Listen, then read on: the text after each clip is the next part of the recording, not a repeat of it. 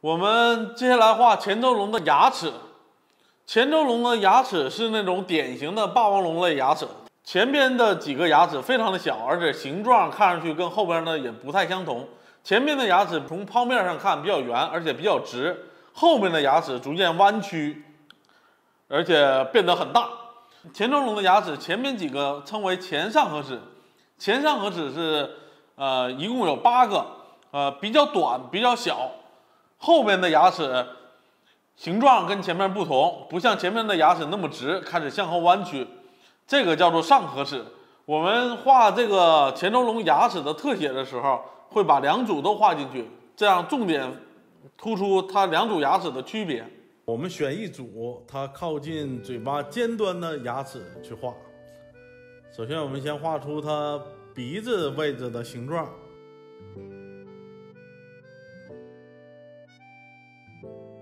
然后是它的嘴的形状，它的嘴的形状可以参考现在的鳄鱼，它并不是一条直线，是稍微波浪状的样子。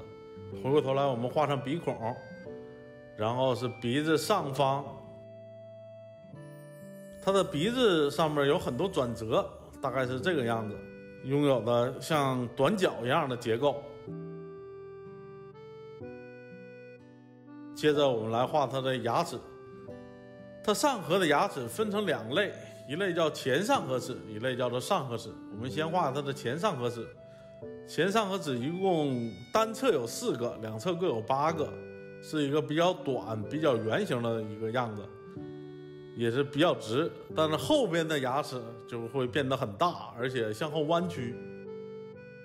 然后我们把牙齿根部与皮肤连接的部分画出来，在这些牙齿的根部有非常肥厚的肉给它包裹在一起，这些肉能够让它闭嘴的时候让口腔完全闭合，也给嘴部牙齿根部保持一定的弹性。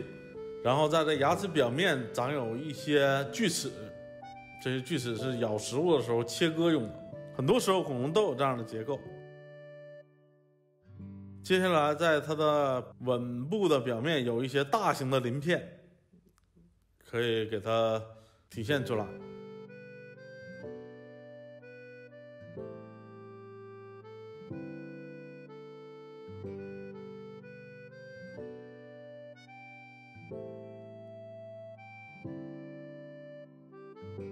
然后我们把它的牙齿给它修整一下。接着我们来画它的下颌的轮廓，我们画的是它闭嘴的样子，因此刚才提到的这个包裹牙齿根部的这些肉，可以这样去表现。当它闭上嘴的时候，这个上颌的牙齿会暴露出来，然后下颌的这个牙齿根部的肉会填充在这些牙缝之间，让它的嘴巴密合。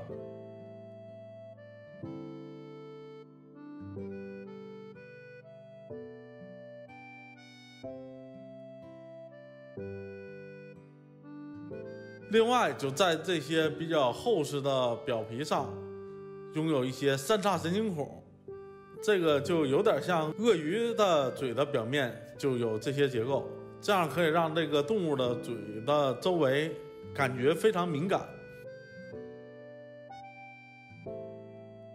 然后我们再把下颌的鳞片给它画一些。